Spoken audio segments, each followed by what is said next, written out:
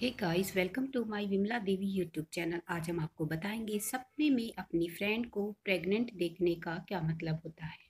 जी हाँ हम इस वीडियो में आपको कुछ ऐसे सपनों के बारे में बताएँगे जो प्रेग्नेंट होने से संबंधित है, या खुद को आप प्रेग्नेंट देखते हैं, या फिर अपने किसी फ्रेंड को, किसी घनिष्ठ मित्र को अपने सपने में देखते हैं कि वो प्रेग्नेंट हो रही है। ऐसा सपना देखते हैं तो ये शुभ होता है या अशुभ होता है।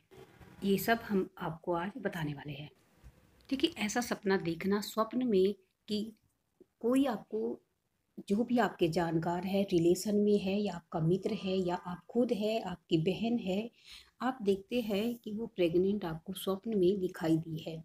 इसका मतलब है, आने वाले समय में आपका कोई नज़दीकी, आपकी फ्रेंड है, जो कि या फिर आपके कोई रिलेशन में है, हो सकता है कि वो प्रेग्नेंट हो जाए।